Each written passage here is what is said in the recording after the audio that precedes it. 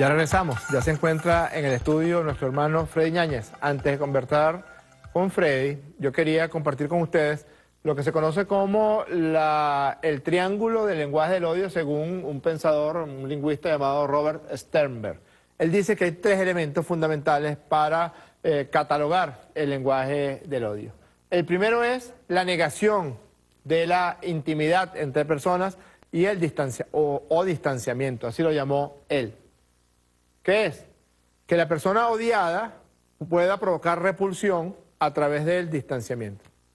Y a veces uno dice, bueno, qué diferentes son cuando se sientan en la mesa de diálogo los jefes de la MUD y luego cuando salen y empiezan a decir y utilizar un lenguaje completamente diferente al que utilizaron.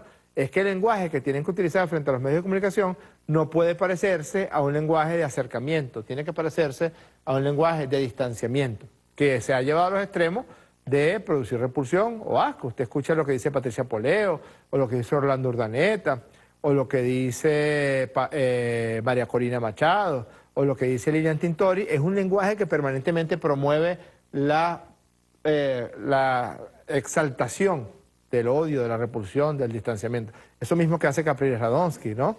Eso que hizo Ismael García, eso que hizo Ismael León en la Asamblea Nacional. El segundo punto es la pasión, y esto sí es una característica, pero preponderante de eh, algunos sectores de la dirigencia de la derecha venezolana, que es la generación de situaciones, la mayor parte de ellas falsas, de miedo o ira intenso. Nosotros tenemos un video que eh, nos reservamos de presentar en la mesa de diálogo, es un video resumen de personas tomadas por la ira, lo quiero matar, quiero matar a Maduro, quiero matar a Maduro. ¿Por qué? Y a todo lo largo de la revolución bolivariana han recurrido a estos mecanismos. Que, iban, que, que si tenías tres hijos te iban a quitar uno. ¿Se acuerdan? Que si tenías dos carros te iban a quitar uno. Que en el año 2002 y 2003 decían en las organizaciones de clase media, deben tener ollas de aceite hirviendo por si los círculos bolivarianos vienen a arrojarles, es decir, incitando al asesinato. Es esto, ¿eh? La pasión. Justamente de eso viene a hablarnos hoy Freddy, del lenguaje de la pasión en la política también.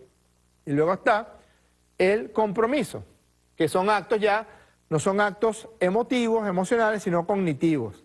Es decir, una construcción, un constructo, para que las personas eh, no tengan ninguna forma de acercarse a otro ser humano. Es decir, los chavistas somos burros, somos micos, somos macacos, eh, siempre recurren a todas estas campañas de guerra, de guerra sucia. Esa es la intención del eh, forjamiento del radiograma militar por parte de Capriles Radonsky y también del forjamiento de estos llamados pasaportes diplomáticos. Y ni siquiera voy a mencionar la basura, la basofia, la asquerosidad de lo dicho por Ismael García e Ismael León y otros en la Asamblea Nacional. ¿Por qué es esto? Es la construcción de una situación de compromiso que en todo caso atrape, es como si pudiéramos poner aquí, Freddy, en este triángulo, y aquí dibujamos, y aquí lo que dibujamos es a las personas opositoras, atrapadas completamente en el triángulo del odio. Doctor Freddy Ñañez, más doctor ser usted, el lenguaje del odio en la política.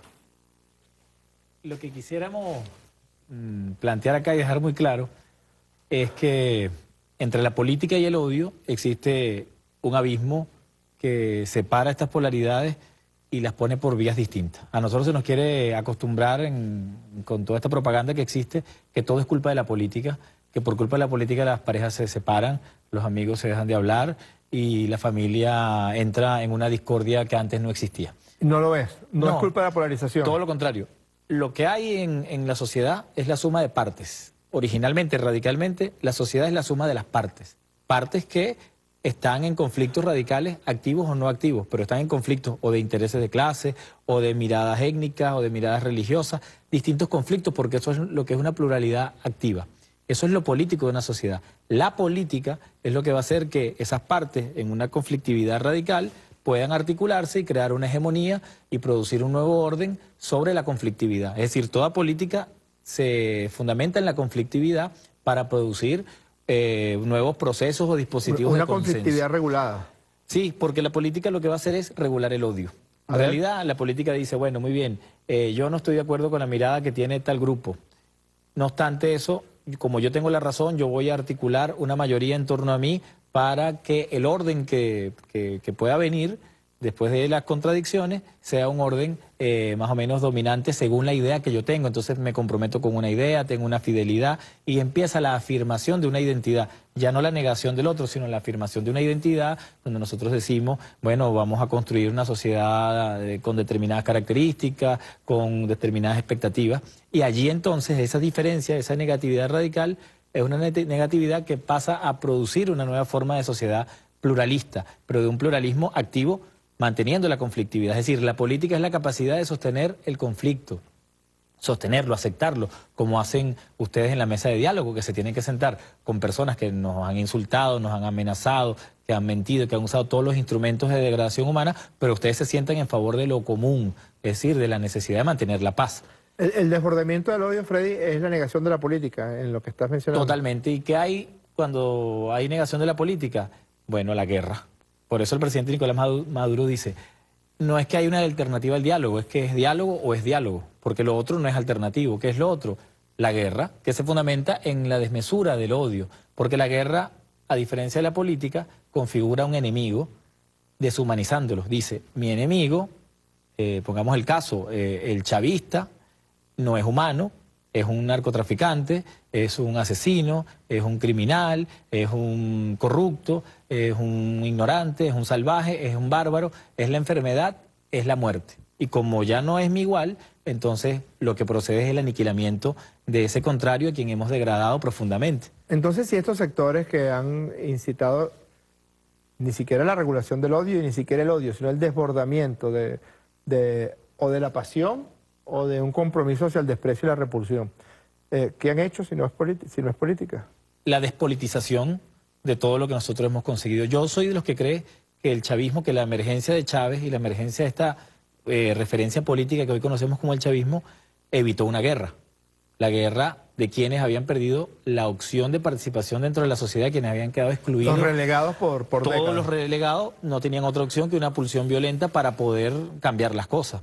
Y surge Chávez y surge el chavismo y reconvoca a una mayoría a descargar esa pulsión, pero en la afirmación de un nuevo orden, es decir, vamos a refundar, vamos a reconstruir, vamos a cambiar, vamos a transformar, vamos a revolucionar. Y eso canaliza de alguna manera las expectativas, las fuerzas, y bueno, se construye una constitución que finalmente termina siendo la única eh, referencia de consenso, la única referencia de un todo que nos puede en este momento mantener y nos mantiene en paz. Pero, ¿qué hacen los que quieren gobernar? Saben que no tienen un proyecto político eh, que, que- que sea capaz de articular a las mayorías, porque ¿quién de ellos pudiera decir a las mayorías que con dando- dándole más dinero a los banqueros y liberalizando la moneda y aceptando inversiones privatizando. El extranjeras? señor Ramos Alud dijo en Monagas que había que privatizar todo lo privatizable, Entonces, incluyendo los servicios de salud y de educación. ¿Cuál articulación van a conseguir? Ninguna. Entonces, ¿cómo puedo yo gobernar un país como este que está altamente politizado? Despolitizándolo a través de dos dispositivos. El primer dispositivo es la guerra efectiva, porque yo no creo que haya una guerra psicológica y después una guerra física. Hay una guerra que tiene etapas. Ya empieza siempre en lo simbólico, en el lenguaje, en la, en la forma estética, en la forma eh, de la circulación de la propaganda y después, bueno, ya se da lo que se tiene que dar. Y la segunda etapa de la guerra, pues ya es el ani- aniquilamiento. ¿Cómo gobernaría un, un, una- una- un- un proyecto de exclusión? Gobernaría primero aniquilando a, a su adversario, es decir, a nosotros, y luego despolitizando la sociedad que se va a sentir culpable de este enfrentamiento de hermanos y diría, la culpa es de la política porque antes de la política nosotros todos éramos hermanitos, es decir, antes de Chávez todos éramos hermanos, todos éramos amigos, todos estamos en un consenso. No existe una sociedad como una sociedad como el producto de un consenso o de una armonía. Existe la sociedad como la suma de las partes en conflicto que se activan o no se activan. Se activan fundamentalmente cuando hay proyectos políticos para superar las contradicciones de manera pacífica o se activan de manera negativa cuando la guerra se desborda, cuando el odio se convierte en la única vía para descargar esa pulsión y esa necesidad de transformación. O sea que no es viable que por la vía del desbordamiento del odio ellos logren eh, tomar el poder y estabilizarse en el poder. Ellos tomarían el poder siempre que se despolitice la sociedad por la vía de la guerra, por la vía de la violencia y luego por la vía simbólica de la capitalización de las consecuencias traumáticas de esa guerra. ¿Qué dicen ellos? Bueno, en primer lugar, ese que está sentado allí en Miraflores no es el presidente, es un ilegítimo, es una persona eh, usurpadora, es un... todos los descalificativos que ellos han dicho. Entonces no hay que respetarlo a él, que es lo mismo decir, no hay que respetar un orden constitucional, no hay que respetar unas instituciones, ni un, ni un, ni un consenso que hemos eh, construido durante estos 17 años desde que tenemos una nueva constitución.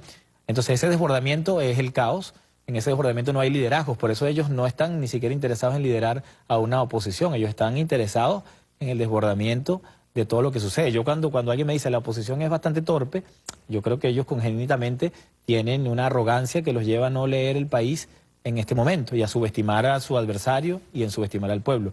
Pero sí creo que tienen un guion muy bien redactado y que lo van siguiendo fidelmente y que consiste en que se desborde la violencia. Cuando yo, yo me preocupé mucho cuando, cuando después de, aquel, de aquella marcha que ellos decían que iban a, sacar al presidente el primero de septiembre, eh, surgió la etiqueta maldita mut porque yo decía, bueno, si, si la reacción que hay de una supuesta mayoría, en Twitter por lo menos, que también es bastante relativa, pero si esa es la tendencia y la, y la pulsión de satanizar incluso a los que se supone eran los cabecillas de esta, de esta celada contra la Constitución, entonces, ¿qué es lo que está incubado en esta masa opositora que no tiene proyectos, sino que lo que tiene es una gran pulsión que quiere descargar negativamente contra su adversario? ¿Y quién va a capitalizar eso? Me parece aquí que más que el tema de un fracaso de un liderazgo, lo que hay es un guion que va a proponer el enfrentamiento de, hermanos, incluso ellos mismos se van a enfrentar entre ellos mismos, porque en una, guerra nadie sabe cómo, cómo, cómo, se, cómo van a resultar las cosas. Sabemos cómo, cuándo empezó, cómo empezó, pero no vamos a saber cuándo ni cómo terminó. Y que ellos al final lo que están proponiendo es una salida eh, de la política. Su proyecto es salir de la política, porque cuando ellos han gobernado, Pongamos el caso de Raúl Leoni o de, o de Betancourt. Cuando ellos gobernaron una hegemonía militar, una hegemonía de un Estado, de unas instituciones, cuando tuvieron la mínima disidencia, la arrasaron con sangre y fuego, lo que demuestra que la, el liberalismo y la derecha venezolana y universal es incapaz de, tolerar el conflicto, es incapaz de tolerar ahora la bien, disidencia. ahora bien, eh, incluso eso quizás explica algunas conductas que, que parecerían absurdas. Por ejemplo, ellos obtienen por, por arte, eh, por artes malas y guerras psicológicas, obtienen una victoria electoral. Uno esperaría que ellos tratarían de fortalecer, digamos, el poder público al que accedieron por la vía del voto popular, que fue la Asamblea Nacional, y han hecho exactamente lo contrario. Es decir, han desmantelado la Asamblea Nacional en aras de obtener el poder, quién sabe cuál, porque eh, a mí no me queda claro ni siquiera que el objetivo sea solamente llegar a Miraflores. Yo creo que el objetivo es precisamente lo que tú dices, es promover el, aniquilamiento de un sector de la sociedad que ellos ya reconocen como el enemigo. Un caos, claro, cuando ellos llegan al poder, eh, paradójicamente llegan al poder legitimando la constitución, legitimando los procesos que ellos han negado históricamente. Ellos fueron los mismos que se retiraron en las elecciones parlamentarias de 2005. Ellos fueron los mismos que votaron en contra de la Constitución Bolivariana de Venezuela. Ellos fueron los mismos, o son los mismos que han venido negando que aquí existe una democracia. Entonces, ser electo en, una, en, un, en un sistema que tú niegas, un sistema que tú deslegitimas, al final te deslegitima a ti. Ellos en ese poder se deslegitiman porque, uno, el proyecto que tienen es inconfesable. No es un proyecto que tú puedas vender o del cual tú puedas hablar abiertamente o, que lo puedas poner en discusión en asambleas populares, en consejos comunales. Es un, es un proyecto eh, impopular completamente. Es decir, ellos no pueden hacer política con su proyecto porque quedarían desenmascarados. Lo que pueden sí hacer es gobernar sobre las ruinas de un país que ellos van a, que ellos van a, incendiar, que ellos van a garantizar su destrucción para luego decir, por culpa de la política, ¿se acuerdan? Eh, ahora estamos en esta situación y hay que gobernar con mano dura, aniquilando y persiguiendo a quienes promovieron este caos. Yo creo que nosotros estamos... O incluso disolviendo las fronteras como hicieron en Libia. o como hicieron, correcto, porque creo que nos estamos, nos, estamos enfrentando a un momento, a un momento en el, que, en el que el capitalismo ya bueno, pues tiene muy claro que su, que su proyecto como propaganda tiene, está develado. O sea, es, es, inviable que a través del sistema capitalista logremos progreso, logremos confort, logremos igualdad, logremos eh, superación. Esa, esa quimera que tiene que tiene el capitalismo que lo lleva A, una, a, una, cosa infinita que nunca se logra.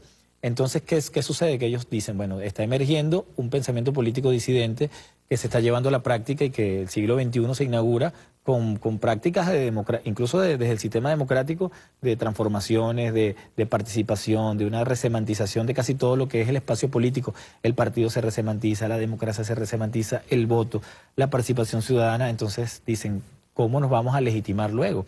A través de la guerra, que es el aniquilamiento de todo, la sin razón, el desborde del odio, y luego todo tendrá que volver a su lugar y para eso emergerá un Estado fuerte, un Estado este, policial que pondrá las cosas en orden y a partir de ahí una, una amnesia colectiva a través de la inoculación de la culpa de la política. Por culpa de la política, va a ser el discurso, nosotros nos peleamos, nos dividimos, llegamos a una guerra y ahora lo mejor es dejarle esto a los expertos, a los juristas, a los administradores, a los banqueros, que son los que van a resolver el tema económico, ciencias sociales a través de leyes y de, y de, y de, y de administración o de gestión de lo público, pero que la gente tenga el trauma y tenga la huella física de que la política termina mal, de que todo lo que, lo que comienza con participación política va a terminar ensangrentada o va a terminar sencillamente en el luto. Yo creo que eso es lo que ellos están promoviendo y por eso abiertamente es el tema del manejo del odio y abiertamente es el tema de la desmesura eh, de las pasiones y la construcción de un lenguaje de, la aniquilación. Ahora, esto no quiere decir que quienes estamos haciendo política de verdad no tengamos un lenguaje de confrontación o beligerante o un, lenguaje de lucha. No tiene nada que ver esa, esa dinámica de la política con la guerra. La política es lo contrario de la guerra. Insisto, regula el odio y la guerra desmesura el odio. Bueno, se nos acabó el tiempo. Ni Dios ni Chávez lo permitan que vaya a, lograr, vayan a lograr sus objetivos de, de aniquilamiento por la vía de la desregulación del odio. Muchísimas gracias, Freddy. Gracias a ti. Tenemos algunos tweets, vamos a leerlos. Un abrazo. Arroba RL Caldera. Mood, vete al carjo, son y han sido unos falsos, han engañado a sus disociados seguidores, le han hecho y hacen mucho daño al país. Arroba Daniel Rullero. Oposicionismo burgués utiliza criminalmente la guerra económica y exaltación al odio para asaltar el poder político en Venezuela. Arroba Alban 7. Determinó el asesinato venezolano, forjó documentos, roba la gobernación y sigue libre arroba JD Contreras B1. Como en la teoría del árbol de raíz envenenada, todos sus frutos son envenenados. Capril es una maleza de raíz envenenada. Arroba Moreantón. Estos golpistas y terroristas opositores no saben del diálogo. Lo de ellos es asaltar el poder y violencia en contra del pueblo. Ya hemos llegado al final. Ha sido un programa de intensidad. Es muy interesante. Vamos a seguir abundando en algunas de las tesis que manejó hoy el ministro Freddy Ñaña acerca de la regulación y la desregulación del odio como vía de avanzar hacia la política o avanzar hacia la guerra. Pero ya se nos acaba el tiempo por el día de hoy. Vamos a cerrar con los panes de Campesinos Rap que van a estar el sábado en Suena, Caracas, en el Campesinos Rap Sinfónico en el Teatro Municipal. Bueno, allí nos vemos este próximo sábado a las 6 de la tarde. Mañana arranca Suena Caracas con la salsa dura, la salsa cabilla y todo el pueblo de Caracas, véngase para Plaza Diego Ibarra para acompañarnos a la inauguración del Festival Suena Caracas desde temprano, desde las 3 de la tarde. Vamos a estar allí con los grupos de salsa nacionales y van a cerrar Tito Rojas y, y Rey Ruiz como invitados internacionales en el día de mañana, que es el Día de la Salsa. Búsquenlo en la página web suenacaracas.gov.be. Ahí está toda la grilla, está toda la, está todas las todas las programaciones en los, espacios abiertos, en el Parque Hugo Chávez la programación infantil, en los teatros recuperados por la Revolución vamos a traer trovadores, vamos a traer al baterista de los Ramones, que es uno de los invitados más importantes de lo que viene eh, a este Festival Suena Caracas, y es un festival que ha sido atacado porque es gratis. Ha sido atacado porque se aleja del odio. Y ha sido atacado porque es lo que siempre ha promovido la revolución bolivariana, que los sectores populares, que no se, no se necesita el dinero para acceder a la recreación, para acceder a la cultura, para acceder a la vida, para acceder al amor, para acceder a la risa. Eso es eh, una entelequia capitalista, que para poder promover el uso y el acceso a la cultura tenga que hacerse a través del dinero. Suena Caracas ha demostrado que no, que todos tienen derecho a ver a los mejores artistas nacionales e internacionales. El Festival de Teatro de Caracas ha demostrado que no, ha demostrado que todos tienen derecho a precios muy módicos de ver lo mejor del teatro nacional e internacional. La Feria del Libro, Filben, la Feria del Libro de Caracas también han demostrado que no se necesita dinero para acceder a miles y miles y miles de libros que solamente en la Revolución Bolivariana han sido editados. Así que aquí está, y estará el sábado en el Teatro Municipal Campesinos Rap Sinfónico y cierran el programa de hoy con la canción El Conuquero. Sí, sí, sí. Aprovechamos también para mandarle saludos a la banda que nos está viendo, la banda de Campesinos Rap.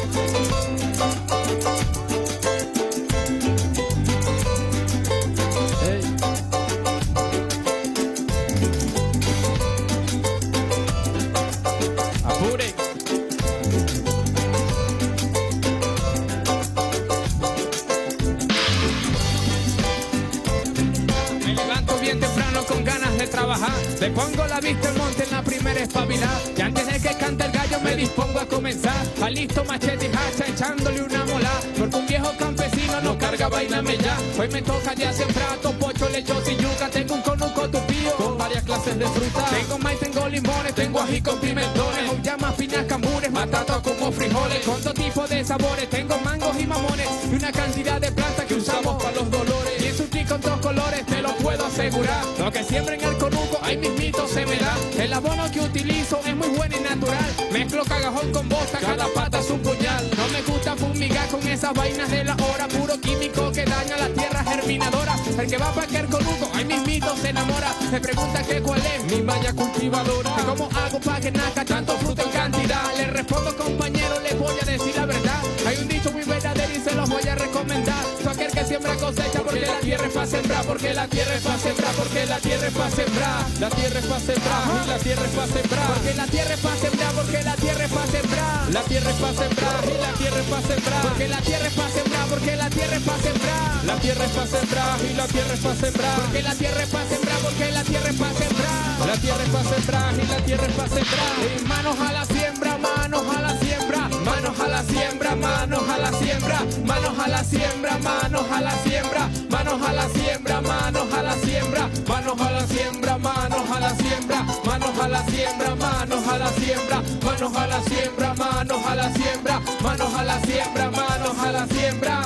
Con ustedes gallina en el aire. Ajá. Vámonos. Ajá. Mira los pimentón. Como toro viste manga.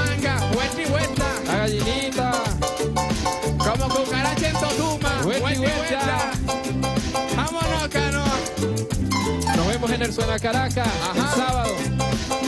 Sinfónico. Campesinos rap. En el diván. Ajá.